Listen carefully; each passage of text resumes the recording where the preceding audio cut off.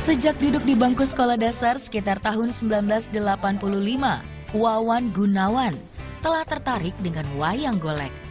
Lelaki 47 tahun yang kini biasa disapa Ki Wawan Ajen adalah sosok kreatif di balik wayang berkarakter tokoh-tokoh terkenal.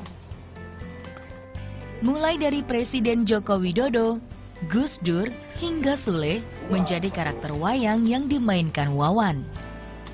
Cara ini ditempuhnya agar generasi masa kini juga menyukai wayang. Selain pentas di dalam negeri, Wawan telah 50 kali mengikuti berbagai festival di mancanegara. Tak cukup menyukai wayang, Wawan juga menempuh pendidikan ilmu budaya hingga jenjang S3. Langkah mempopulerkan wayang kreasi baru tak luput dari dukungan sang istri.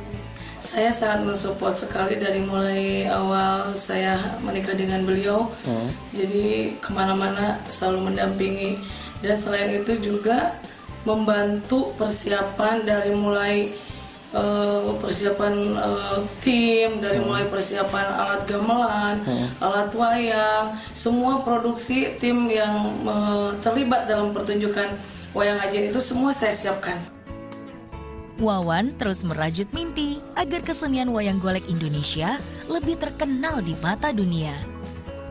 Jika tradisi ini lestari, ia yakin bisa membuka peluang warga pecinta seni untuk bisa hidup lebih sejahtera. Ari Ridwan melaporkan untuk NET.